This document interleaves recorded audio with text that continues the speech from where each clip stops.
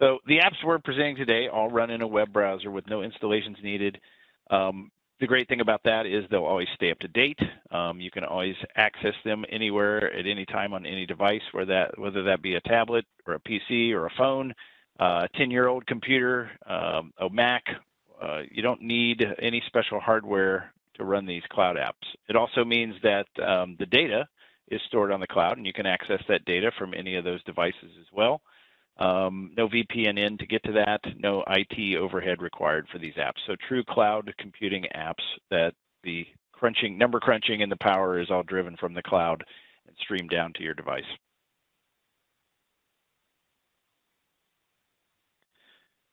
So some of the apps or the apps we are going to talk about today are these three and X Design will be the first one we look at. It is a browser-based 3D modeling solution uh, that will enable designers and engineers to create and review and evaluate 3D models through a very easy to use parametric modeling capabilities. And next, uh, we'll show XShape. And this is also browser-based. It's a subdivision modeling solution. And this enables industrial designers, engineers, artists, whoever, to create stylized, um, organic models and faster and more easy, easily than uh, traditional parametric tools. And after that, we'll go through X Sheet Metal, which is what it sounds like. It's a parametric modeler for sheet metal componentry right inside your web browser. You can bring SolidWorks models into the user interface and design fixturing and those sorts of things right around them. Now, there are other apps that are X apps, but these are the ones that we're focusing on today. So XDesign uh, on the 3D Experience platform offers a, a, pretty major change in the way you design 3D components. Starting with the unique single modeling environment, it means you're no longer constrained by working with parts or assemblies like in your traditional design tools. Instead, you can get right to work creating features and sketches that define your designs.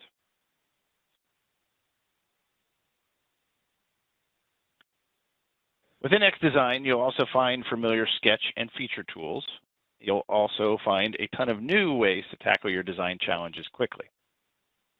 So some of this may look familiar to what you've done in the past, and that's a good thing. For example, uh, while you're inter interactively sketching profiles, XDesign will guide you in understanding which entities are geometrically constrained.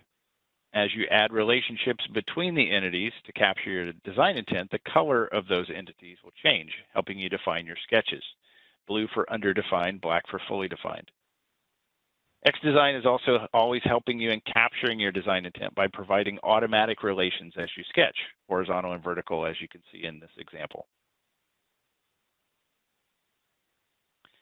If you're continuously drawing the same diameter circle, XDesign recognizes this and automatically makes them equal to one another. Wherever you want to add more relations, you simply select two geometric entities and XDesign will provide you with relations that make sense from a pop-up toolbar. XDesign also shades in the shapes of the contours within your sketches to let you know what shapes can ultimately be created with them. And this helps you to understand your overall design better while your sketches take on more complexity.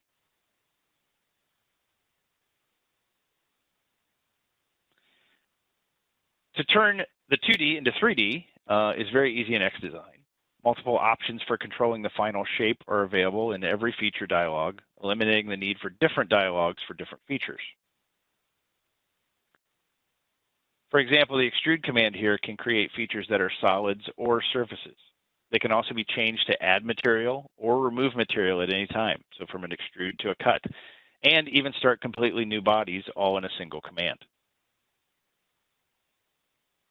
Nearly all these features can be dynamically changed later as well to become a different feature in the future, all on the fly without the need to start a different command. So quickly switching something, in this case, like we showed from an extrude to a cut or adding an extra little uh, extrusion onto the outside of that. Maybe you just created a chamfer and then you decided you'd rather have a fillet instead. So just a simple edit and change the, the type of feature here. This eliminates the need to delete and recreate features like you may have had to do in the past. Very unparalleled flexibility here as you create and change your designs. as well as eliminating the need to learn different features for very similar tasks. As your designs take shape, the power of this single modeling environment becomes more than just creating new geometry. It also offers the flexibility of choosing which features make up entirely new components. XDesign allows you to select those features and create a new component from them on the fly. These newly created components can be used in other designs, of course, and managed with all the tools on the 3D Experience platform. In addition to creating parts on the fly, there's also, of course, a more traditional approach to building structured designs. You can just simply insert one component into another at any time.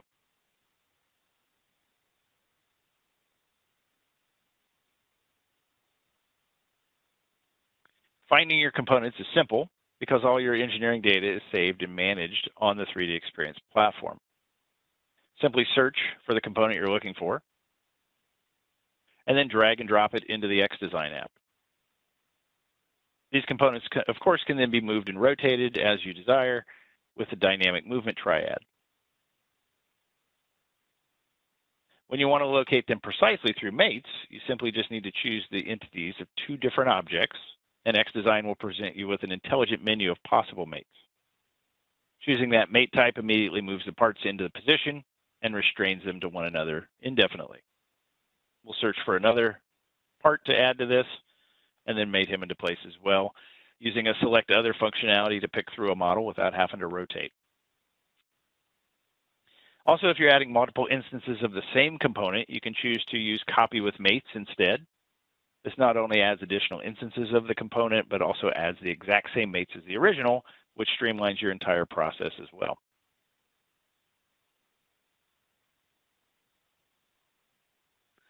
Sometimes you may need to change the component used in a particular instance. For example, from a longer fastener to a shorter one.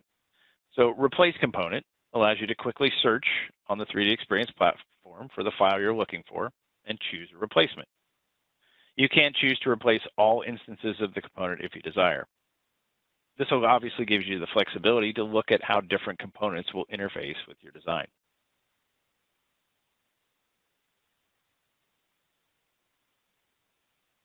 One of the most innovative aspects of XDesign is its design guidance functionality. This tool can generate geometry in a model based on loading conditions. You don't actually have to model the entire design, but only the pieces of geometry where loads and fixtures need to be applied, like this, for example.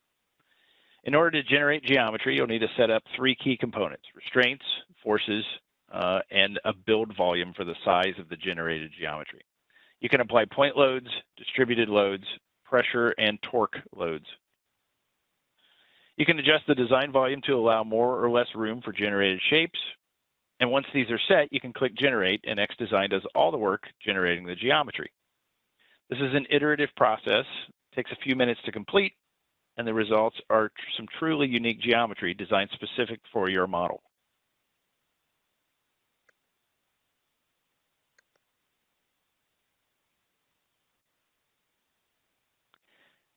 Then, of course, you can use sketch features to finalize the geometry from the generated shape using all the 3D modeling tools provided in XDesign. So here we're just going to go in and rough in the shape we would like based off the suggested shape that the generative design provided for me. Then, of course, it's just a matter of using the tools inside of XDesign to extrude and get solids off of this. If you were 3D printing, perhaps you could use the, the funky model that it gives you there, but uh, you're probably just going to use that for some guidance. You can view various designs based on different loads using the same restraints. Uh, the load case manager will allow you to turn loads on and off, as well as vary the load mass. All in all, XDesign will change the way you think about CAD and structured assemblies. With its powerful single modeling environment, it's easy to use mating tools and the power of generative design to allow you to create models better and faster than ever on any device you choose anywhere you'd like to work.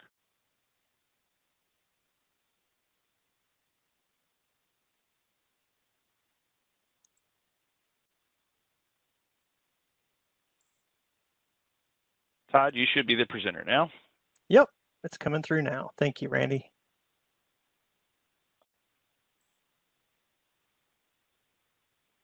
Okay.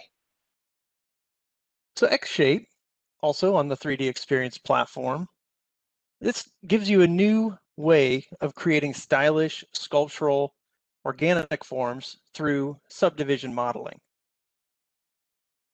So the features and tools in X-Shape are focused on allowing you to quickly create and refine these forms without having to rely on traditional surface modeling tools. And you can think of it as working with digital clay. So you begin by inserting primitive geometry that best represents uh, the form you're trying to create. You modify the primitive by adding or removing divisions and by changing the scale and proportions of these forms. And once your form is roughed in, you can further refine your design in a variety of methods. For example, any of the model's vertices, uh, the faces or edges can be selected and you can translate, rotate, and scale those in uh, a variety of combinations. And as you make changes to the form, X-Shape is preserving the continuity across the entire form, keeping all the faces smoothly translating into each other. Now you can further subdivide the model to give the form more granularity to create finer details and transitions. And so here, several loops are added in the y-axis of this model to prepare for some design elements that will be adding into the upper part of the form. And eh, the, the flexibility of working in the cloud with these XApps is that you can insert CAD geometry as reference geometry. And that's going to help ensure that the forms we're creating meet the volumetric needs of the design. Furthermore, when you add the ability to insert and scale your concept sketches or photographs, that's going to give you assistance in styling your design as well.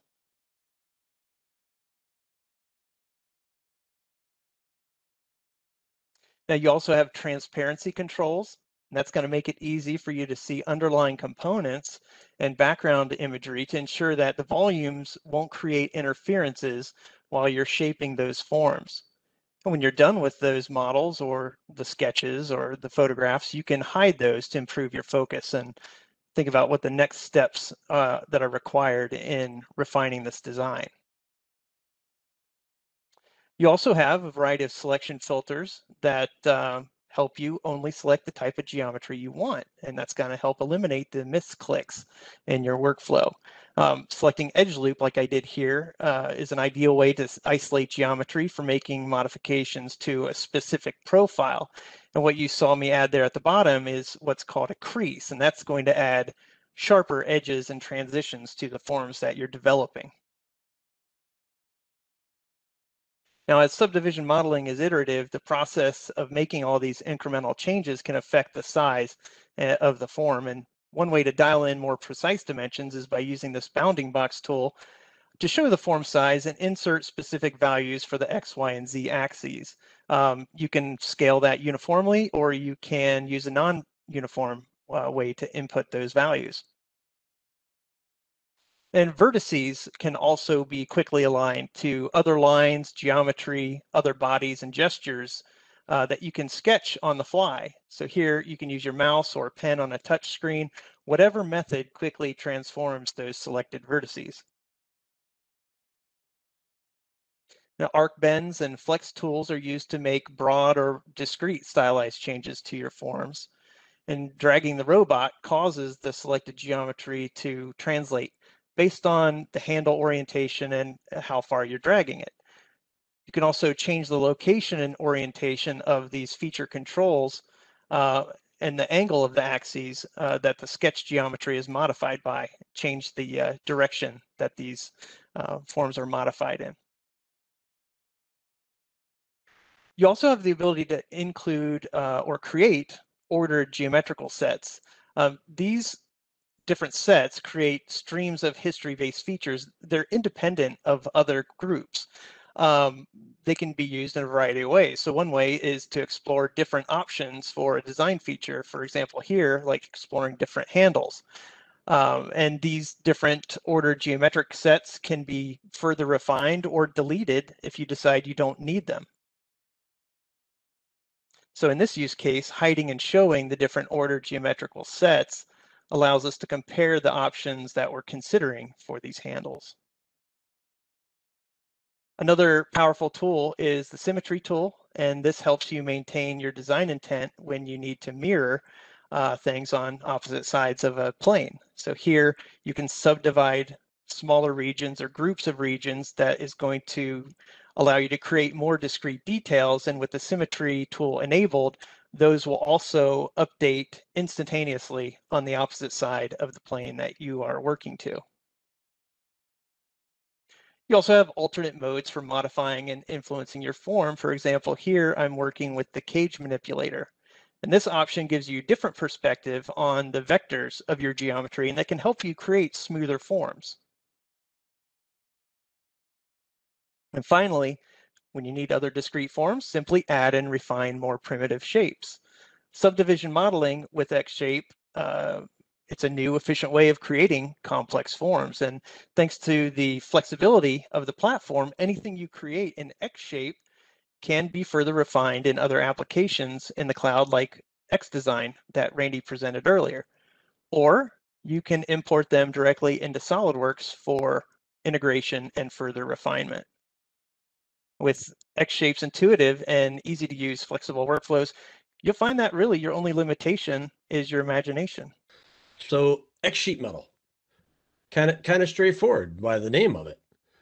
Um, we're gonna go back to that saw that Randy was looking at earlier, and you see the bottom plate and the bevel adjustment are two separate pieces. Well, maybe I can save some money by making that out of a piece of sheet metal. So I'm going to insert a new feature set into the assembly. I'm going to grab the bottom face of the plate, and then I'm going to do a convert entities.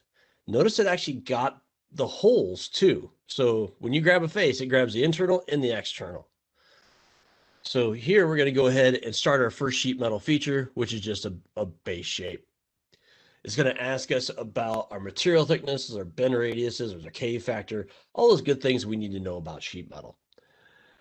Once you do that, it's going to ask for sketch orientation, if there's going to be any sketch offsets, that sort of thing. And we're on our way to starting a sheet metal part. So now looking at this, I want to be able to make sure that as I'm dragging the, the plate across a piece of metal, that that front edge doesn't catch. And if we just have a flat piece of metal, it's not going to do it. So what we're going to do is draw a line in there and draw a sketch bend.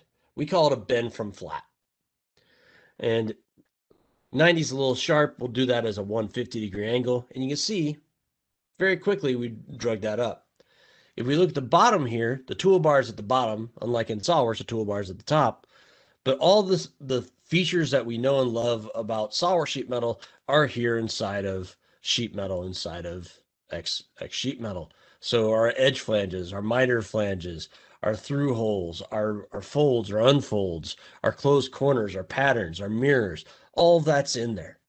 So let's take a look going for going on to the next step here. We're going to grab the edges and we're going to bend those up a little bit too, put an edge flange on there. They call it a wall on edge. And you can see just by picking those, we can pick an edge or commit a sketch to that tell it if we want material to the inside or the outside. So now that material is bent up, being the edge of that plate as well. So in the same footprint, but we got a nice bend there and some nice corner treatments. Now, I want to add and include the bevel adjustment on this piece of sheet metal. So it's going to be bent up. Well, when it's cut out of metal, it's got to be bent down. So we're going to create a cutout to accommodate that shape. And we'll just go with that size for right now. And now we're going to create another flange based upon that bevel face there. So Randy was working with this earlier. I'm going to grab one of the faces. I'm going to do a convert entities, and then I'm going to create an edge flange off that. I want that to go all the way to the top, top there. So I'm going to drag the points over so those collide together. So those are all coincident now. So we've got a nice closed sketch. SOLIDWORKS and X sheet metal always give us that nice closed contour effect there. And we're going to create that wall on edge. We'll go with the 90 degree for right now. We'll go to the material and we can come in and override the reliefs so it's not going all the way to the edge. I wanted to have a little bit of bend radius there. So was the cutout big enough for us for that bevel? I don't think so, but let's go check it out. We can ask it to unfold. It's going to flatten that out, and you can see immediately it shows me the overlap, and it gave me an overlap detection. And I can use my measurement tool that's inside of that overlap detection to see how far I need to go. So I'm going to add just a little bit more to that to break that out to 70 millimeters. And now when I flatten it out, I should have more than enough real estate. So when I cut that on the laser cutter and I've got a plenty, plenty enough room to bend that up.